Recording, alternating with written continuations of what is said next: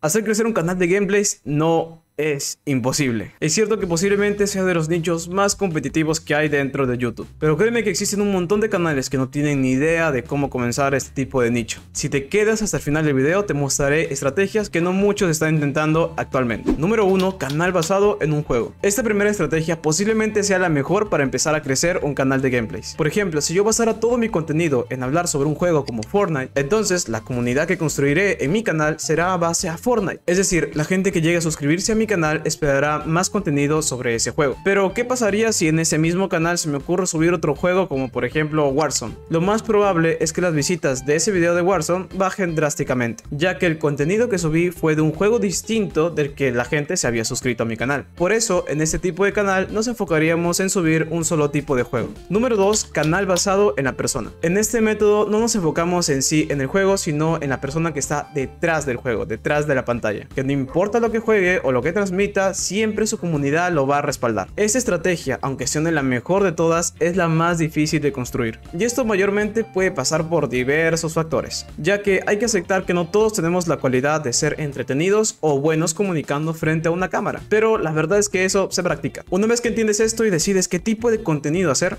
te diré algunas indicaciones generales que funcionan en ambos bandos. Número 1. Enfoque en un tipo de contenido. Ya sea que bases tu canal en ti o en un solo juego, lo que funciona para ambas partes es enfocarse en una sola dinámica, o al menos por un tiempo. Por ejemplo, siguiendo con el ejemplo de Fortnite, quizá puedes subir videos enfocándote en cómo cumplir cada una de las misiones del juego, ya que hay muchas temporadas. O tal vez cumpliendo retos con la comunidad, como invitarlos a una partida contigo o que ellos mismos te hagan un reto en el juego, etc. Verás que al enfocarte de esta forma tu crecimiento será mucho más fácil dentro de la plataforma. Número 2. Ver las tendencias del juego. Aprende a enterarte de las tendencias del juego del que estás haciendo contenido, sobre todo para esos juegos que reciben actualizaciones constantes. Si sacan un nuevo artefacto en Fortnite, por ejemplo, procura ser de los primeros youtubers en subir algún reto o desafío con ese artefacto, o simplemente buscar buscando algún truco que nadie más ha visto en esa nueva actualización. Y no solo me refiero a tendencias con las actualizaciones de un juego, sino que a veces existen temporadas en el que un juego se hace muy popular. Un claro ejemplo sería Among Us, que se dio un boom en el 2020, por ejemplo. Un juego que en su momento la mayoría lo disfrutó muchísimo, pero que actualmente bajó su rendimiento a diferencia de hace unos años. Ahora, ¿dónde podría enterarme de todo esto yo?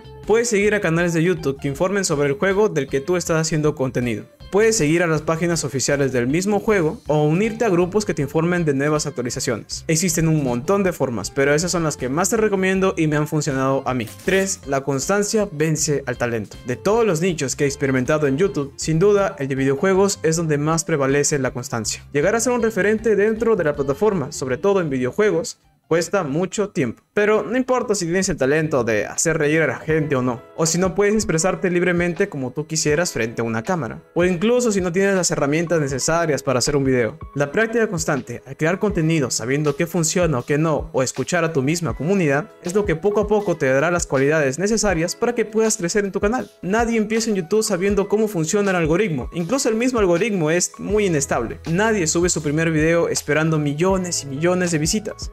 Disfruta del camino. Trabaja arduamente, acepta los errores que cometes y ve en lo que puedes mejorar. Y todo, poco a poco, te lo aseguro, se irá acomodando para ti. Y obviamente si quieres aprender más sobre cómo crecer tu canal de YouTube, te dejo un video por aquí. Te invito a que te suscribas y te agradezco mucho por llegar al final del video. Nos vemos en este video de por aquí, así que bye bye.